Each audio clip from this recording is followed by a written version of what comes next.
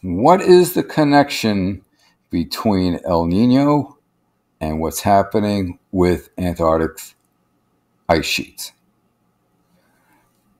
Hello, friends. Jim here. In an article appearing on the online publication EOS, El Nino may have kicked off Thwaites Glacier retreat. Antarctic's so called Doomsday Glacier started losing mass mid century around the same time as its neighboring glacier.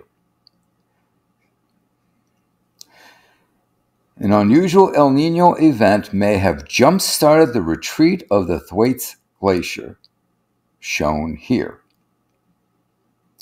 Antarctica's Thwaites Glacier is currently losing significant mass, contributing to around 4% of all global sea level rise. 4%. New research suggests that the start of Thwaites' current retreat aligns with that of the nearby Pine Island Glacier, which is also losing mass rapidly. The findings published in Proceedings of the National Academy of Sciences of the USA indicate that the mass loss was more likely spurred by regional conditions such as an El Nino event rather than dynamics unique to the glaciers themselves. Thwaites and its neighbor, the Pine Island Glacier, are part of the West Antarctica ice sheet, the area of the continental ice sheet that is retreating most quickly. If Thwaites continues to retreat at current rates, it will contribute 7 centimeters to global sea level rise by 2100 and has been nicknamed the Doomsday uh, Glacier. Scientists have observed accelerating ice loss from Thwaites since the 70s, mostly via satellite uh, imaging and data. Satellite data isn't really enough of a record to understand other factors controlling such a system. Understanding the glacier's pre satellite past helps scientists know what the ice is capable of. And the researcher of making these comments um, is Dr. Julia Wellner, uh, associated with the Department of Earth and Atmospheric Sciences, the University of Houston in Houston, Texas.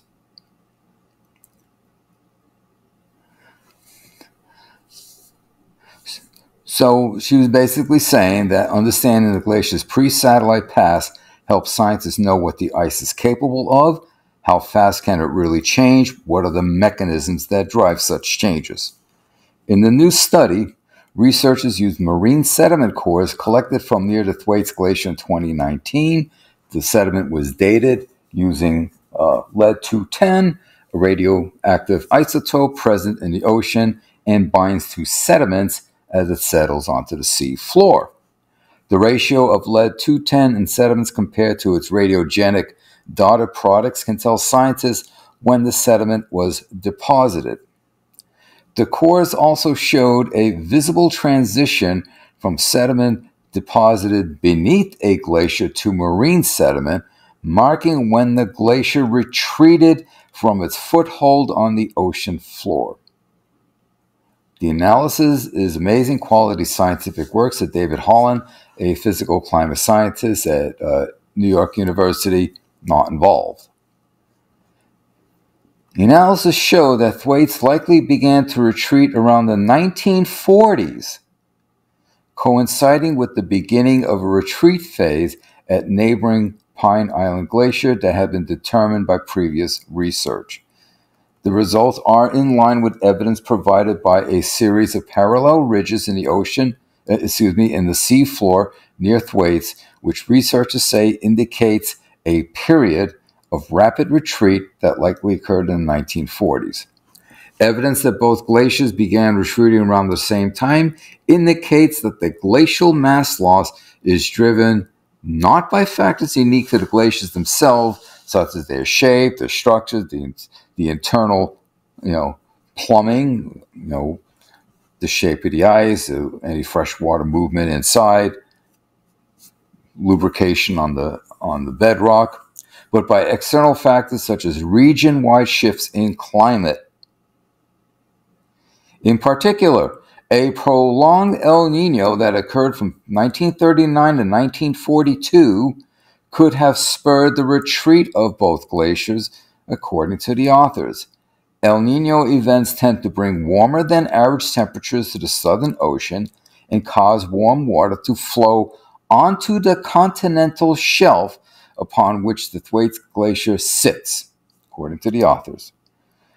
The radiocarbon dating done by the researchers show that the edge of the Thwaites Glacier was near its current position around 9,400 years ago and was relatively stable until modern retreats started around the 1940s. Okay, so almost 10,000 years ago it was fine, and then in the last basically 80 years, we start getting movement. I wonder what could have changed that. The study implies that even a short term change in regional climate, such as the 1940s El Nino, can cause long term glacial retreat, said uh, co author James Smith, a marine geologist at BAS, British Antarctic uh, Survey.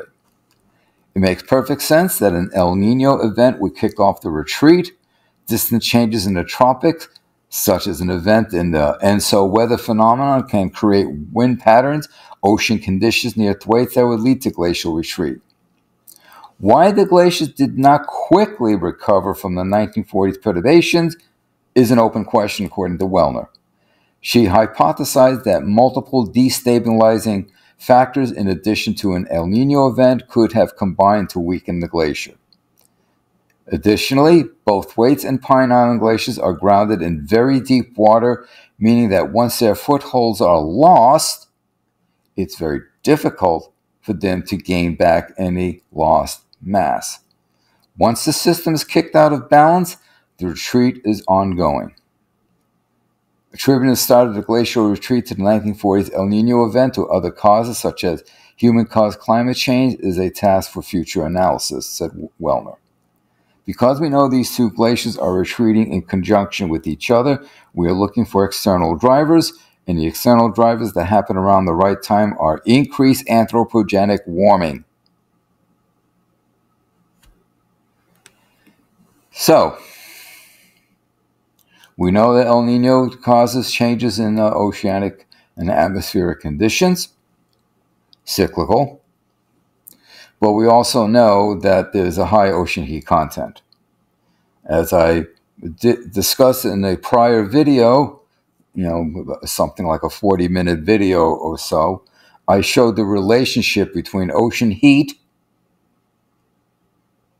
uh, you know, in the Pacific and, and Indian Ocean, how ocean heat from equatorial Pacific Ocean makes its way to the Southern Ocean, adversely impacting the glaciers. So you may want to check that out. And what are we coming off of right now? We're coming off of, in the middle of actually, uh, a, a, rather strong El Nino. What do we see this past winter? You know, Antarctica, we're seeing during their, uh, we're seeing massive, massive ice loss.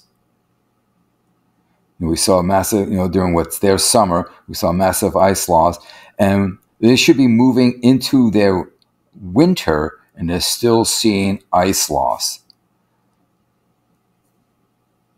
Now, granted, I'm discussing sea ice at the moment, but if you lose the sea ice, there's nothing to hold back the land ice, making it easier for the land ice